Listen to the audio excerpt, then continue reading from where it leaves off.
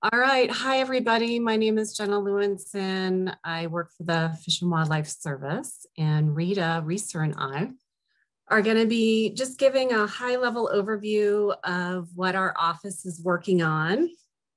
Uh, I have 18, or we have 18 slides, so we'll just try to motor through and leave time for questions.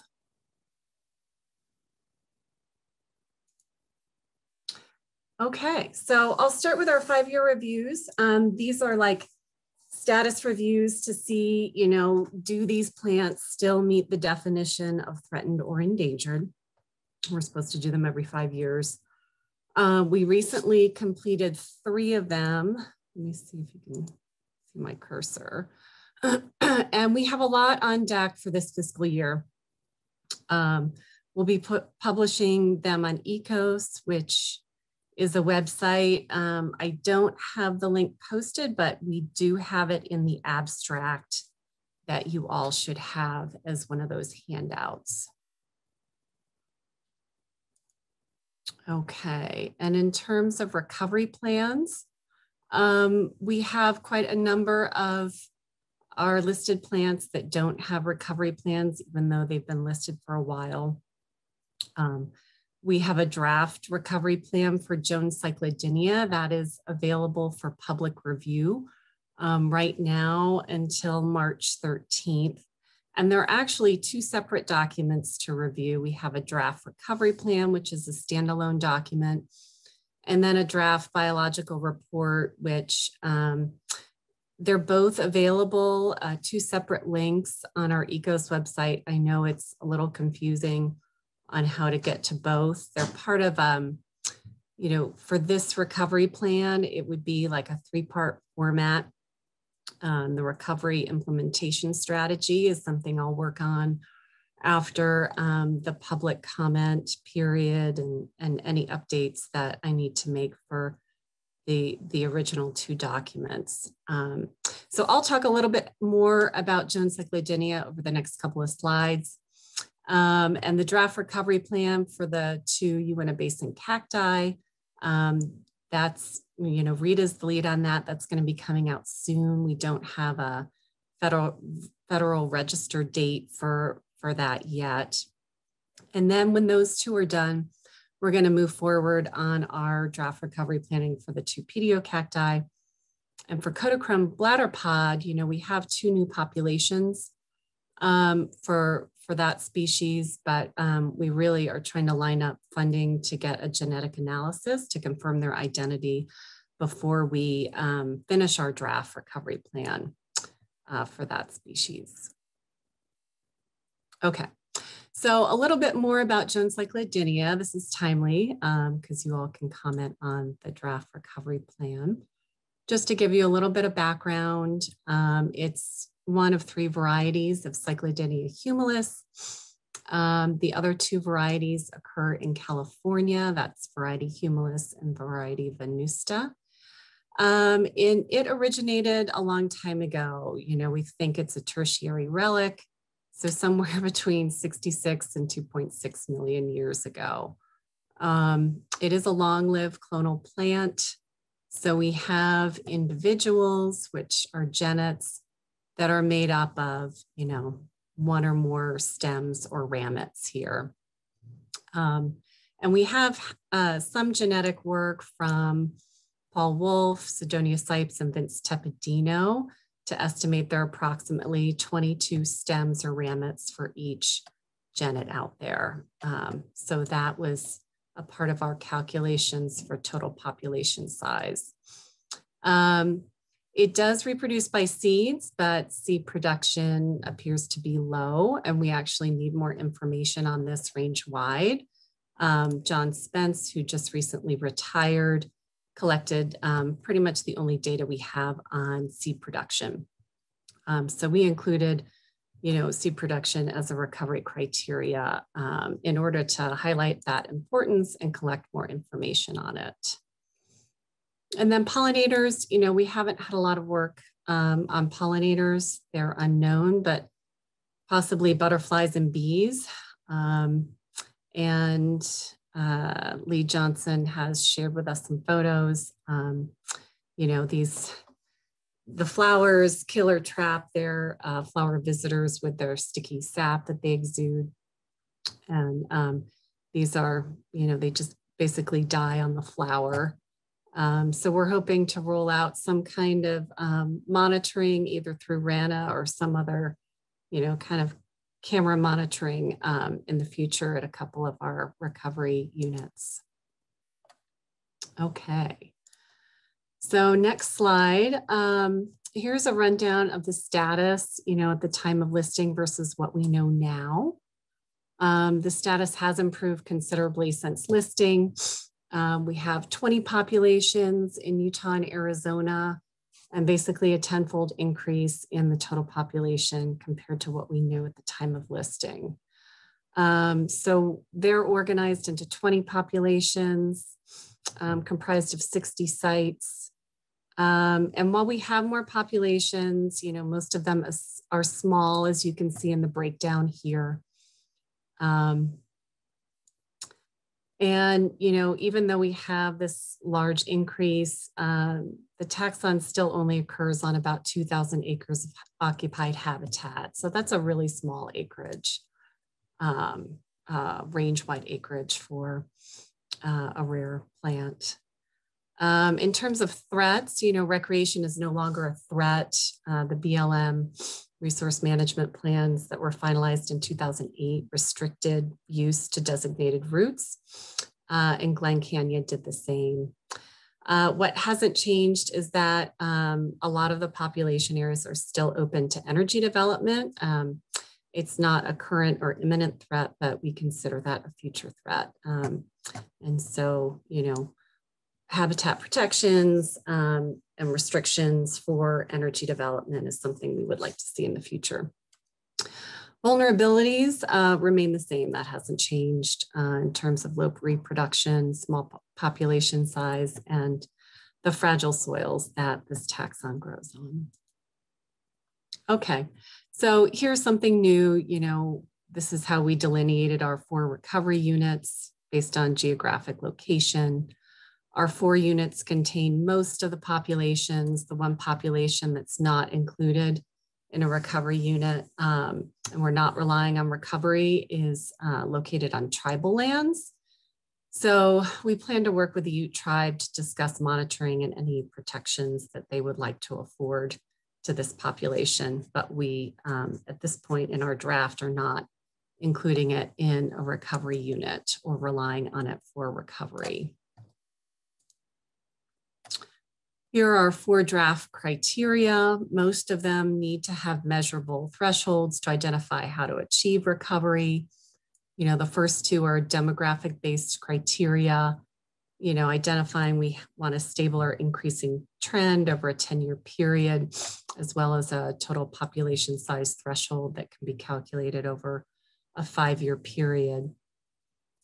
Um, the third criterion talks about the need for habitat protections. And then, you know, we want to preserve the genetic diversity that exists in an offsite location. That's a pretty common criteria for many of our other recovery plans. Okay. So that's all I have for Jones. Um, the next slide is just to highlight that we do have uh, a new listed plant in Utah. It's you can see it on my background too, the Fickeisen plains cactus. Um, you know, it is listed as endangered, uh, previously only known in Arizona. Um, and there are three plants that we know of on BLM lands in Utah in the Hurricane Cliffs area, uh, found or confirmed last year by Kipley. Um, I believe that more extensive surveys are planned this year. So if you are planning to survey, I know that UNPS has like a cactus working group. If you could let me know, I'd appreciate it. I know the BLM is planning to do some surveys this year and other contractors working on projects in Washington County also um, maybe asking for a reference population. So I'd appreciate, you know, just a coordinated effort in reporting for this species because um, I, you know, I want to make sure I'm giving the, the latest and greatest information to folks. Um, surveys were performed for the cactus in the Lake Powell pipeline right away over 10 years ago. Um, and none were found at that time. But, you know, uh, if and when this uh, project moves forward, there will be surveys for the cactus um, within that right of way alignment prior to construction. Okay, and then I'll just touch upon some of the projects I know many of you are familiar with, but um, you know, the lens I'm gonna share is how plants may be impacted or benefit um, from these projects. So for Northern Corridor, you know, a very high controversial uh, project, you know, the focus has been on the Mojave Desert Tortoise. Um, this is a highway through Red Cliffs National Conservation Area. It's just over four miles long, um, but we don't have any listed plants in our highway right of way. Um, and so one of the measures to offset, uh, offset the effects of desert tortoise is the creation. So here's the highway, proposed highway. And then um, the offset um, to benefit desert tortoise is this proposed zone six. Um, and it's a combination of BLM lands here in yellow and then state lands in blue. It's almost a 50-50 split on just over 6,000 acres. Uh, the dwarf bear poppy will definitely benefit from the creation of zone six. There's quite a bit of habitat on state lands that um, are not currently afforded protections, and it's part of our red bluffs um, poppy population. Oh, I guess I should mention Holmgren milkvetch is also located uh, in zone six, but it's on BLM land. So I'm not quite clear on if there's any additional benefit uh, to the species. Um, really, you know, the critical habitat units are fenced and, you know, use is restricted there. So I'm not sure that there's um, a real benefit for Holmgrens in, in zone six. Okay, so the next project is the Washington County Habitat Conservation Plan. This is a plan for the desert tortoise with a 25 year term. Um, it was finalized in January and the discussions uh, were at least five years in the making. So the Habitat Conservation Plan doesn't cover plants, but we were able to work um, out additional habitat protections with SITLA for Holmgren milkvetch and the Central uh, Valley Critical Habitat Unit. Um, something else that was a part of a commitment was uh, UDNR and, and Mindy's crews to survey prior to development. This is something that has been happening to a lim limited extent, but we're now kind of formalizing it, elevating it as a priority um, to do surveys in coordination with uh, desert tortoise clearance surveys um, prior to construction. And then, you know, this was this commitment here was uh, contingent on if the northern corridor is approved um, to develop a survey seed collection and plant salvage plan uh, with the county and other partners. We've already started that, but you know this effort really needs to be kind of ramped up and and provide better coordination. And I think you know having the county involved is really going to be a big boost to those areas that we simply cannot um, protect, um, you know, from development. And then I already mentioned the benefits to the poppy from zone six. And then Lake Powell Pipeline, another big project. Right now, the um, state of Utah is producing a supplemental EIS. Um, they've addressed to address public comments from their draft EIS. This supplemental ES is going to include a, a, local waters alternative in the event that Lake Powell pipeline is not approved. It's certainly not their preferred alternative, um, but they are responding to public comments. So, you know, this is a complicated project. There are a number of issues that could complicate this, like the Colorado River Compact, but in terms of plant impacts um, for their preferred alternative, avoidance is possible for all of our listed plant species, even including the Fickeisen plains cactus. And then the listing update, um, you know, we are preparing to publish the, our decision for the penstemons. Uh, we've completed our analysis of the species status and it's undergone peer and partner review. So we anticipate it's going to be very soon, definitely before the end of the fiscal year that um, our decision is published. And then for the milk vetches, you know, that's something that um, Rita's the lead for, and she's actively working on a species status assessment for those two. And so I think I should let Rita jump in and I'll switch to her. Rita, can you unmute yourself? Are you able to do that? I am unmuted. Can you hear me? Yeah. Okay, great. I just might need you to advance the slides. I don't know if I can do that. And, and this is Dave. I want to point out we just have a few minutes left. Okay. Um, so yes, I'm the lead for the Cisco milk vetch and Isely's milk vetch. There's a species status assessment going on right now. We're also working with Karen Newland, who is a biologist out of the Montana field office who is assisting us with that. And some of you have been contacted with her and we've had some one expert meeting already for that and we'll be having another one. Um, oh, I can advance. Um, okay, Ute ladies tresses, uh, there is a species status assessment going on for that as well. And Lark Wiley is the uh, lead for that. She unfortunately has had strep. She's on the call, but um, has a very scratchy voice right now. So I'll give updates for her. That species status assessment um, should be completed in fiscal year uh, 21. Um, some good news is that we have had two occurrences located in Summit County and Emery County in 2020. So there was some good news that came out of 2020. Um, those two counties did not have positive occurrences recorded in them previously. Um, some of the biggest news with this species is that we worked with some modelers at headquarters and developed a potential uh, habitat model for the species that is range wide. So it's not just for Utah, it's for the entire range of the species.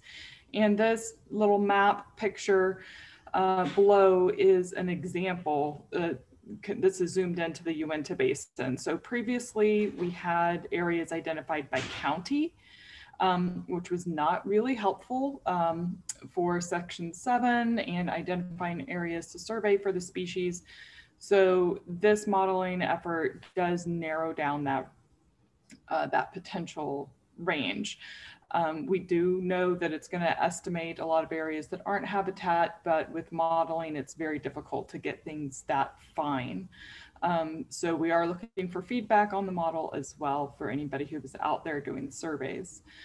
Um, and this can be found um, on the ECOS uh, website for the species profile page, and it can be downloaded as a shapefile.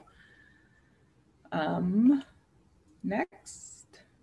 Okay, Barneby ridgecress. Uh, this is a species that I'll be working on five-year review for this year. And really the update for this is that we are again working with the same modeling group out of our headquarters to update the uh, potential habitat area for this species. Um, this is a draft, I want to emphasize. Um, but if you look here in blue, this was our area that we looked for the species previously. Um, and this is what is an IPAC still um, for, for looking uh, for overlap for section seven consultations. And there's a little, there's a little spot to the west um, that was found in 2014, I believe. And that is part of what prompted us to redo this habitat model. So our current draft for the potential um, range for the species is this green area. It's much larger, a much different shape. Um, it, it needs some ground truthing. Um, again, that's where anybody who is out there can help provide us some feedback. We're looking for feedback from experts um, on this model um, as well, or at least at least on the area included in the model. Um, and I think we're low on time. So is there another one?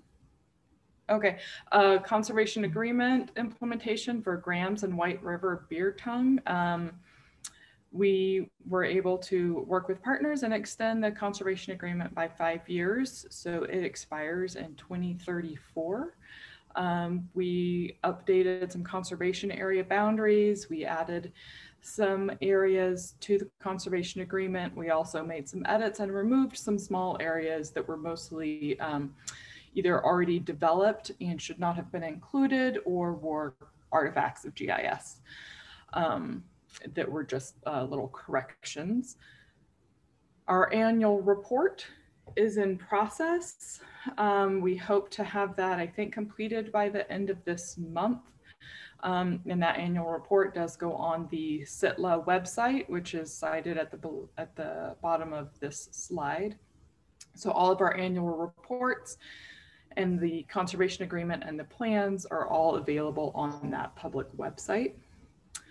Um, we are continuing to focus primarily right now on implementing the range-wide monitoring plan for both of the species. Um, we had a few revisions with the monitoring plan um, uh, to kind of um, make it feasible and make sure we were gathering the data that we needed um, for these species.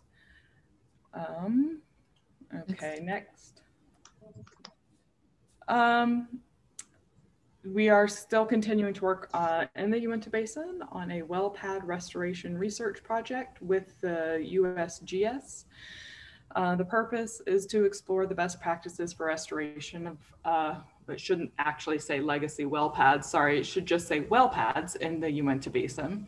And we're working with USGS, BLM, and private industry and other researchers out there to uh, you know develop the the research questions and and the techniques that are being looked at.